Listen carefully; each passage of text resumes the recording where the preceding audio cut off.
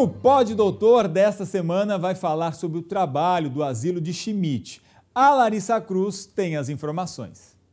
E para falar sobre o trabalho realizado no asilo de Schmidt, a entrevistada do Pod Doutor é a psicóloga da instituição. Marília, como que é o trabalho é, do asilo? Quem, quem faz parte né, desse trabalho? Olá, o Asilo é uma instituição filantrópica de atendimento dos idosos.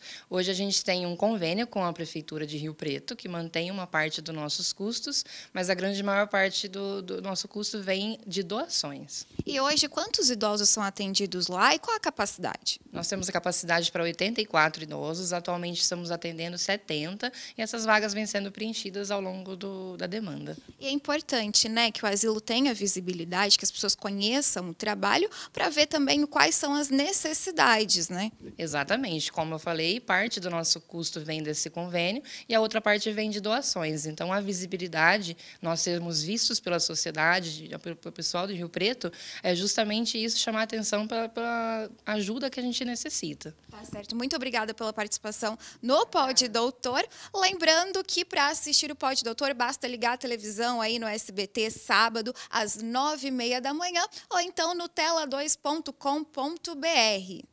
Tá aí então esse excelente trabalho feito pelo Asilo, você acompanha neste sábado na telinha aqui do SBT.